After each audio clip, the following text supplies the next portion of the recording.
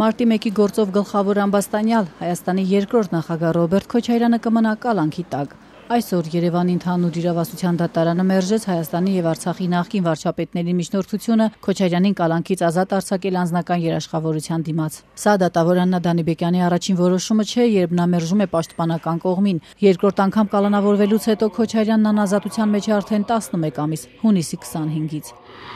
Հրապարակում է դատարանի որոշման եզրափակիչ մասը։ Դատարանը որոշեց պաշտպանել Հայկ Ալումյանի եւ Արամ Վարդևանյանի միջնորդությունները Ռոբերտ Քոչարյանի նկատմամբ ընտրված խափանման միջոց կալանավորումը վերացնելու կամ փոփոխելու, որպես խափանման միջոց անձնական երաշխավորություն ընտրելու, խափանման միջոց կալանավորումը գրավով փոխարինելու վերաբերյալ մերժել։ Որոշումը կարող է բողոքարկվել Հայաստանի Հանրապետության վերաքննիչ քրեական դատարան այն ստանալու պահից 10-օրյա ժամկետում։ Որոշման հրապարակումից հետո փաստաբան Արամ Օրբելյանը լրագրողների զրույցում հայտարարեց, ըստ ամենայնի կբողոքարկեն այսօրվա որոշումը։ Փաստաբանի խոսքով այն արդարադատության հետ որևէ աղերս չունի։ Տևյալ դեպքում մենք տեսնում ենք ու գնահատում ենք քաղաքական հետապնդման հետագա փուլ։ Մենք գնահատում ենք, որ սա ոչ թե խափանման միջոցի խնդիր է,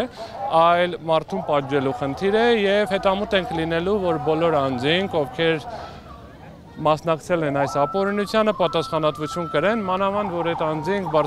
բացահայտել, բարձրաձայն ասել են, որ կենտրոն քրեակատարողական հիմնարկը շատ հարմար տեղ է կորոնավիրուսից պատասխանելու համար։ Ուշում այդ դատախազները գործի ժամանակ դեպուտատների մի քանիսը մի ընդհատե խնդրում եմ դատախազները գործի ժամանակ են ասել, որ այնտեղ շատ լավ է կորոնավիրուսի տեսակետից եւ անվտանգ է նաև բացա մի քանի հոգի այսօր այցելել են ու ասել են անվտանգ է հույս ունեմ ժամանակը կգա եւ նրանք իրենց գործողության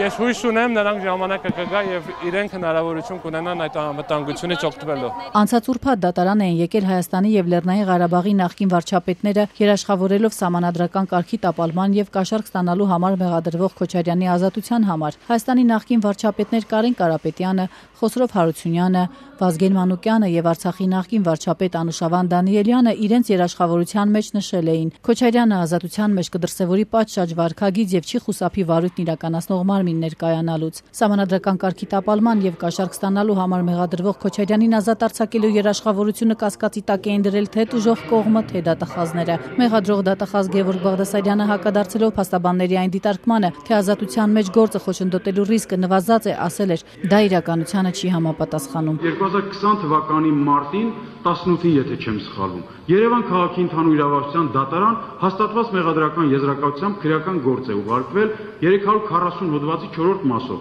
կազմակերպված խմբի կողմից սույն գործով արդարադատության իրականացմանը խոչընդոտելու մեղադրանքով։ Ընդ որում անուններ չեմ ցանկանում նշել անվեղության կանխավարկածների վերաբերյալ քննարկումներից ձերս մնալու համար, բայց գործով ուղիղ տվյալներ կան այն մասին, որ նշված դատի տրված անձինք ուղիղ շփումներ են ունեցել Ռոբերտ Քոչարյանի ընտանիքի անդամների եւ գրասենյակի ղեկավարի հետ։ Այնտեղ եւ սա այն դեպքում, երբ որ մենք դատարանում անընդհատ լսում ենք, որ ռիսկը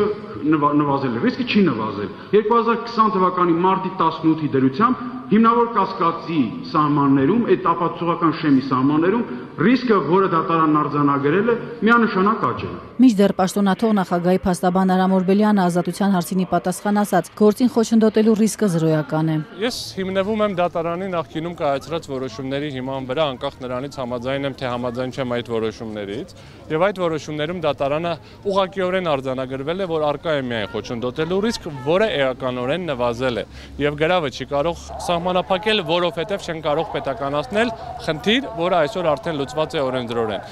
Արմեն Թավադյանի գործը ակնհայտ մանիպուլյատիվ գործընթաց է, որը ստեղծված է Պորոն Քոչարյանին բանտում պահելու համար։ Կրկնում եմ, եթե հեղում կատարվի այս որոշման մեջ այլ գործի վրա,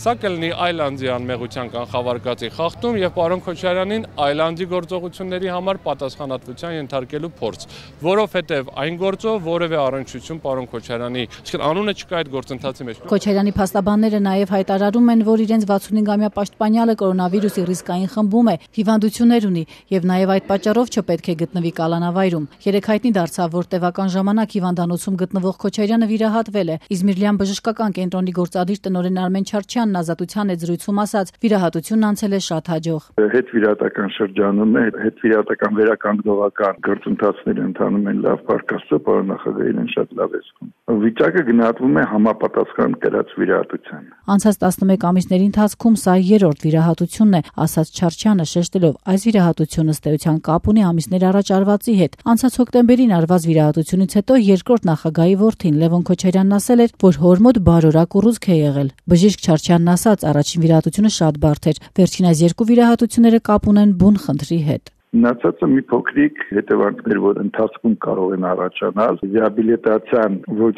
ճիշտ անելու դեպքում կամ վերականգնողական որոշ խնդիրների դեպքում կարող են նորից առաջանալ հարցեր, որոնք որ պետք է վիրահատական ձևով հանգուցալուծվեն։ Չարչյանն անդրադառնալով հանրության կասկածներին, թե ինչու հենց հիմա Քոչարյանին վիրահատեցին, երբ դատարանը քննում է նրա կալանքի հարցը, պատասխանեց քաղաքական կամ իշխանական կամ կրոնական կամ այլ որևէ սահմանափակումներ չկան։ Ինձ համար մարդը մարդ է Աստծո արարած։ Դա միշտ ասել եմ։ Եվ եթե անհրաժեշտ է վիրահատել կամ անհրաժեշտ է բուժել, ես գործում եմ իմ մասնագիտական խղճի եւ մասնագիտական որակավորման սահմաններում։ Հաջորդ դատականիստը կանցկացվի մայիսի 19-ին։